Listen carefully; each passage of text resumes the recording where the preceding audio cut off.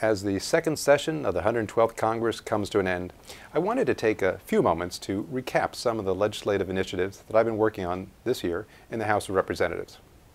You know, like most Americans, 5th District residents voiced their concern about the budget crisis, job creation, and the constitutional role of the federal government. You know, I'm proud to say I was one of the on the front lines for each of these policy debates in Congress. You know, introducing prudent solutions that went to the heart of our country's most pressing needs. Now, as you may recall, it was back last January, I was honored to be appointed to two key budget positions. That was including Vice Chairman of the Budget Committee and Chairman of the Budget and Spending Task Force for the Republican Study Committee. As Chairman of the RSC Budget and Spending Task Force, this session I wrote Cut, Cap, and Balance, a 2013 fiscal budget that would do what everyone in Washington thought to be impossible, balance our budget in five years. You know, had Congress adopted this CCB, it would have cut $9 trillion over 10 years. It would have cut discretionary spending to 931 billion. That's slightly below the 2008 levels approved by Nancy Pelosi. And it would have frozen discretionary spending until the budget balances in 2017.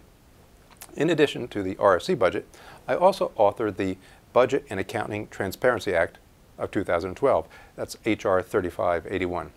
See, this legislation was part of a, a comprehensive set of reforms to overhaul Washington's broken budget process. So on February 7th of this year, it passed the House. It also introduced legislation to improve the Congressional Budget Office and General Accounting Office's reporting requirements for TARP and the stimulus as well. This was signed into law by President Obama on December 4th of 2012.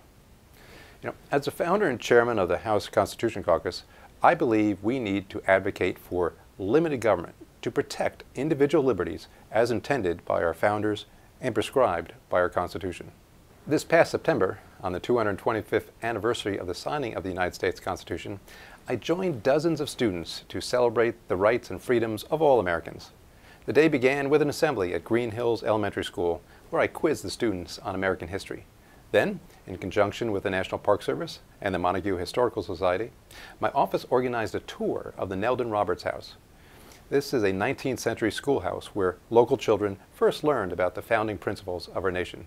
And there I joined students and parents for a tour of the, one of the 5th District's historic sites, and we heard from historians about the importance the Constitution has on our local and national history. And in keeping with the caucus's mission, which is to promote an American future that remains true to its revolutionary past, I believe that sharing the history of our nation's founding is an especially important facet in the education of our youth.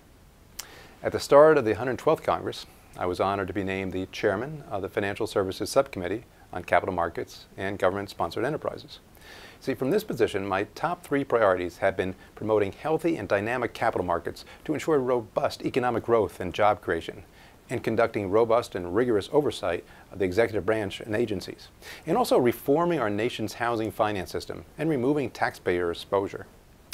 Over the last two years, my subcommittee held 31 hearings. We passed 32 pieces of legislation and started to lay the groundwork for reform of the GSEs and we slowed the regulatory tsunami, which is Dodd-Frank.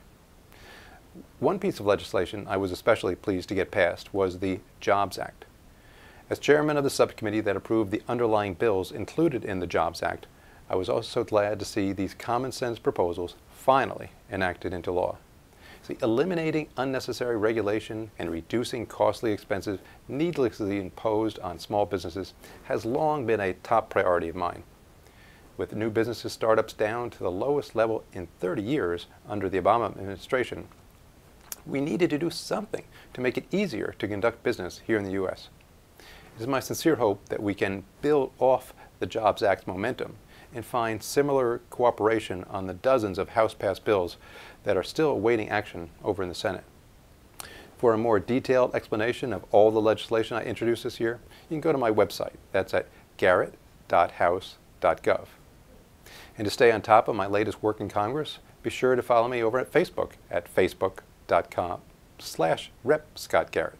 That's facebook.com slash rep Scott Garrett. Also, I've recently joined the conversation on Twitter. I'd like you to follow me there, and I can be found on twitter.com slash rep Garrett. So, as 2012 comes to a close, It's my prayer that God bless you and your loved ones this holiday season, and may God continue to bless the United States of America. Thank you.